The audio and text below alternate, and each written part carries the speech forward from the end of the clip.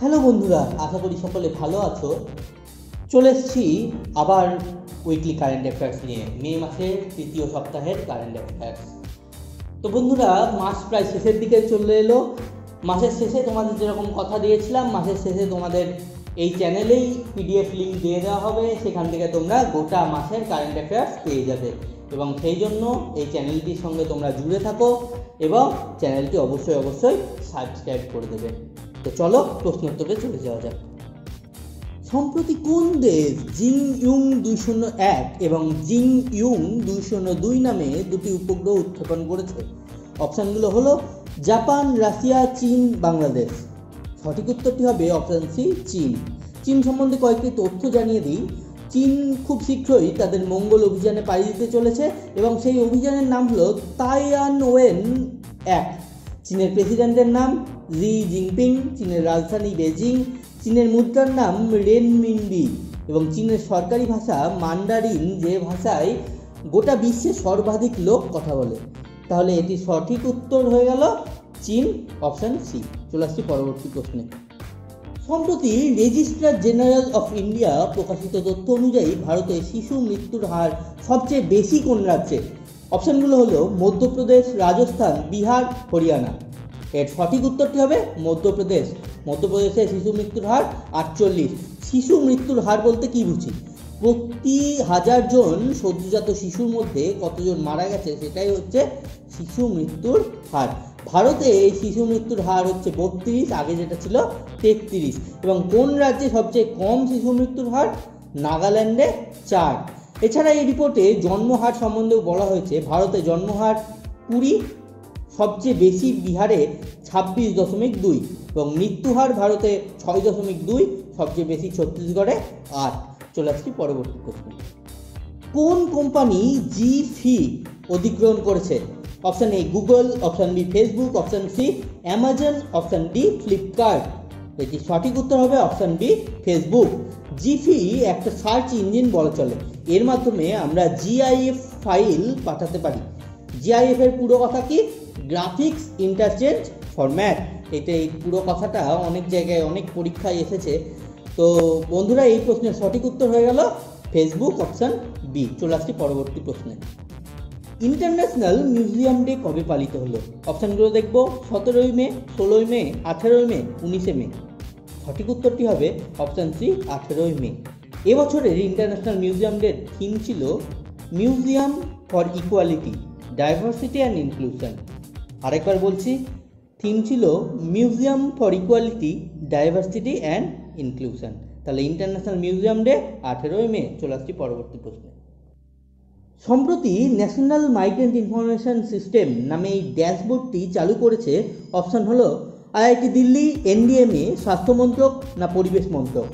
তাহলে national migrant information system এই ড্যাশবোর্ডটি কারা চালু করেছে?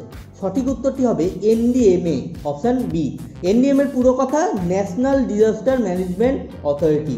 প্রবাসীদের সম্পর্কে জানার জন্য, বিশেষ করে কোথায় তারা বর্তমানে আটকে রয়েছেন, সেই বিষয়ে সঠিক তথ্য পেতেই এই উদ্যোগ।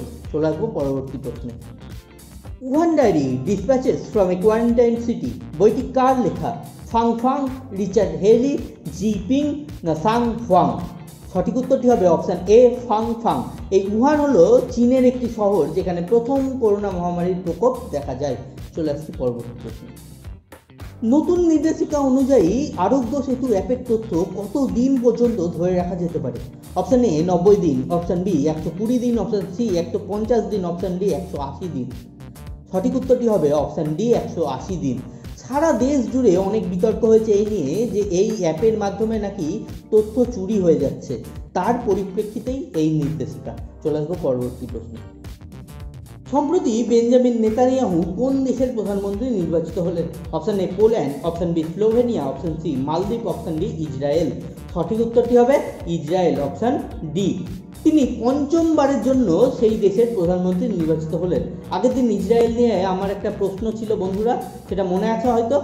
ইসরায়েল সেখানে একটি রাস্তার নাম রেখেছে টেগোর স্ট্রিট। তাহলে ইসরায়েলের রাজধানীর নাম কি? জেরুজালেম। ইসরায়েলের মুদ্রার নাম কি? Israeli shekel. চলে আসছি পরবর্তী প্রশ্নে। ভারত সরকার প্রতিরক্ষা খাতে বিদেশি বিনিয়োগ বা এফডিআই উনপঞ্চাশ শতাংশ থেকে বাড়িয়ে সর্বাধিক কত করেছে? অপশান এ, বাহাত্তর শতাংশ, অপশান বি, তিয়াত্তর শতাংশ, অপশান সি, চুয়াত্তর শতাংশ এবং অপশান ডি, পঁচাত্তর শতাংশ। সঠিক উত্তরটি হবে অপশান সি, চুয়াত্তর শতাংশ। বিসলারি তাদের পণ্যের হোম ডেলিভারির জন্য কোন কোম্পানির সাথে চুক্তি করল? অ্যামাজন, সুইগি, জোম্যাটো সবক্লুজ সঠিক উত্তরটি হবে অপশান সি, জোম্যাটো। প্রাথমিকভাবে জোম্যাটো ভারতে আটত্রিশটি শহরে বিসলারি কোম্পানির বিভিন্ন দ্রব্য হোম ডেলিভারি দেবে। চলে আসছে পরবর্তী প্রশ্ন। সম্প্রতি আত্মনির্ভর ভারত এর উপরে দুশো এগারো জন শিল্পী মিলে একটি গান তৈরি করেছেন। গানটি কি? Option A, Vande Bharatam. Option B, Jai Tu Jai Tu Bharatam. Option C, Jai Hindustan. Option D, Shreshtha Bharat. তো বন্ধুরা এটি সঠিক উত্তর হবে অপশান বি, জয় জয়তু জয়তু ভারতম। আত্মনির্ভর ভারত এই বিষয়টির উপর বর্তমানে কেন্দ্রীয় সরকার বিশেষ জোর দিয়েছে। এই অভিযানের সমর্থনে দুশো এগারো জন শিল্পী মিলে আঠেরোটি ভাষায় এই গানটি গেয়েছেন। জয়তু জয়তু, ভারতম। চলে আসছি পরবর্তী প্রশ্নে। সম্প্রতি কোন সংস্থা বল চকচকে করার জন্য বলে থুতু লাগানোর উপর নিষেধাজ্ঞা জারি করেছে? অপশানগুলো বিসিসিআই আইসিসি ইসিবি এমসিসি সঠিক উত্তরটি হবে বন্ধুরা ICC International Cricket Council BCCI এর পুরো কথা board of control for cricket in India ভারতীয় ক্রিকেটের সর্বোচ্চ নিয়ামক সংস্থা। ECB England cricket board England ক্রিকেটের সর্বোচ্চ নিয়ামক সংস্থা এবং এমসিসি মেরিলিবন ক্রিকেট ক্লাব তাহলে আইসিসির সদর দপ্তর কোথায় অবস্থিত? দুবাইয়ে অবস্থিত। আইসিসির বর্তমান প্রেসিডেন্টের নাম শশাঙ্ক মনোহর। আইসিসির বর্তমান সিইও মান সাহুনে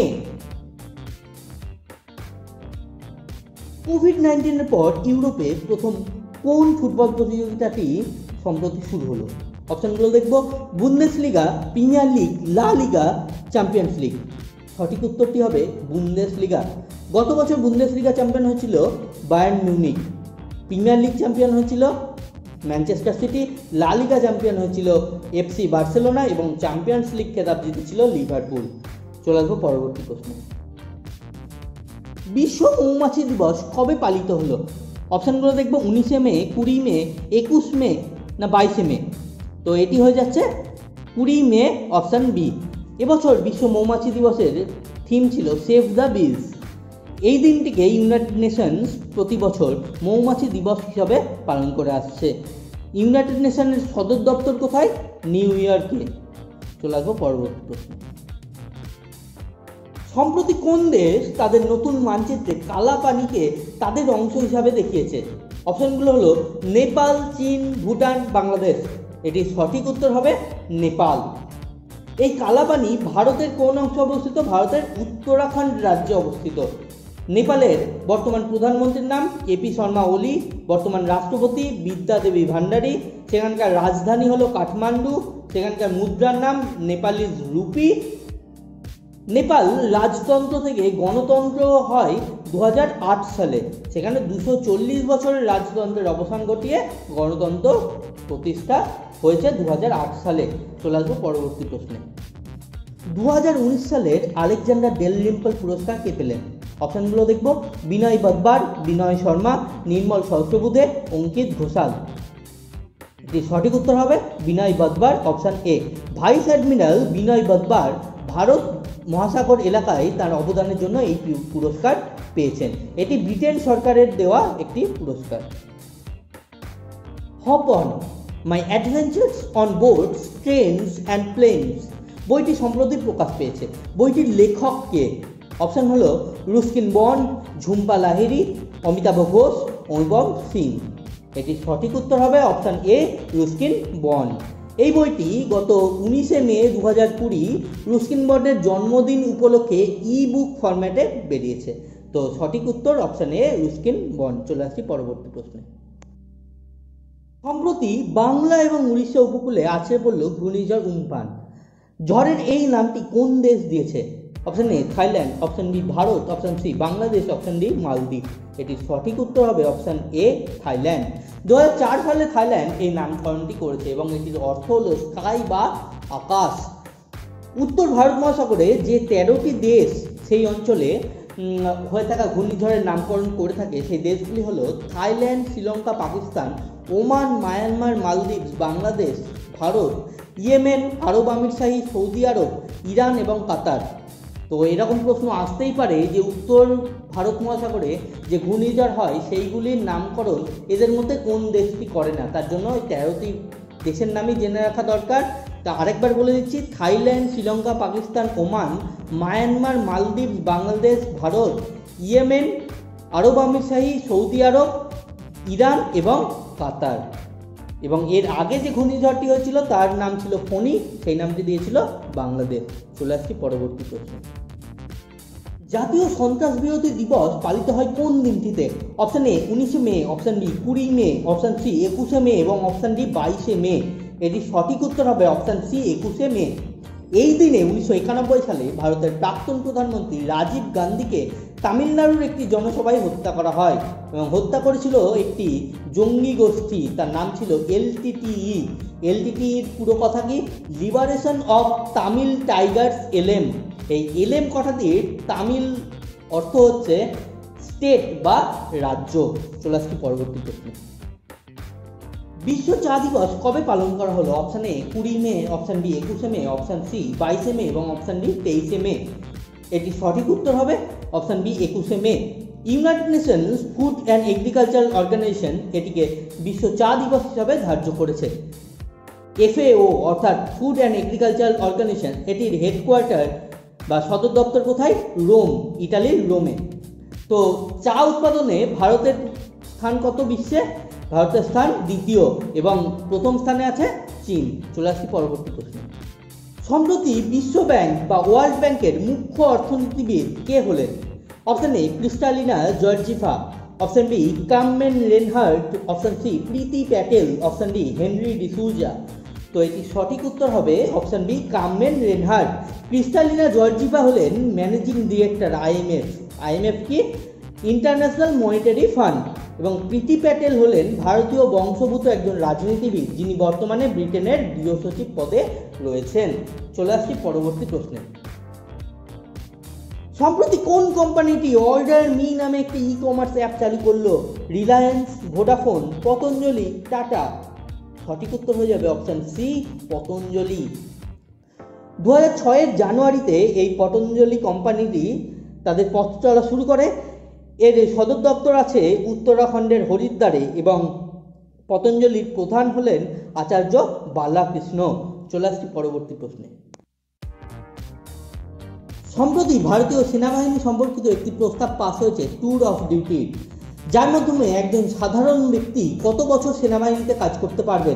অপশন এ এক বছর। অপশন বি দুই বছর। অপশন সি তিন বছর। অপশন ডি চার বছর।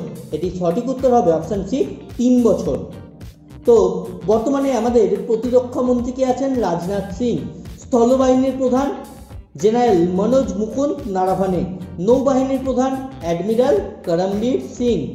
বিমান বাহিনীর প্রধান আছেন রাকেশ কুমার সিং ভাদৌরিয়া। এবং যে নতুন পদটি সৃষ্টি হয়েছে চিফ অফ ডিফেন্স স্টাফ কে আছেন সেই পদে? জেনারেল বিপিন রাওয়াত। চলে আসছি পরবর্তী প্রশ্নে।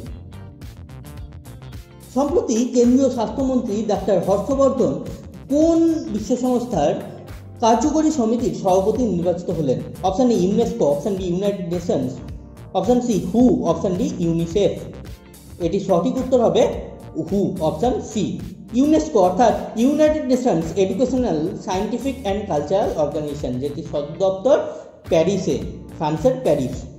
ইউনাইটেড নেশনসের সদর দপ্তর আগেই জেনেছি, নিউ ইয়র্কে। হু এর সদর দপ্তর জেনেভা, সুইজারল্যান্ড। হু অর্থাৎ World Health Organizations UNICEF United Nations International Children's Emergency Fund এটির সদর দপ্তর নিউ ইয়র্কে। চলে আসছি পরবর্তী প্রশ্ন। সাম্প্রতিক তথ্য অনুসারে গোটা বিশ্বের দ্বিতীয় সর্বোচ্চ পিপি কিট তৈরি হচ্ছে কোন দেশে? অপশান এ চীন option B Bharat option C America option D Japan. এটি সঠিক উত্তর হবে অপশান বি ভারত। ভারতে এখন প্রতিদিন প্রায় এক দশমিক সাত লাখ পিপি কিট তৈরি হচ্ছে। আশা করি তোমাদের ভালো লেগেছে। বন্ধুরা, তোমাদের মতামত আমাদের কমেন্টের মাধ্যমে জানাবে, ভালো লাগলে লাইক করবে এবং অন্যদের সাথে ভাগ করে নেওয়ার জন্য শেয়ার করবে এবং এরপরেও বিভিন্ন ভিডিওর আপডেট পেতে অবশ্যই অবশ্যই আমাদের চ্যানেলটি সাবস্ক্রাইব করে দেবে। তো আজকের মতো এটুকুই, ধন্যবাদ।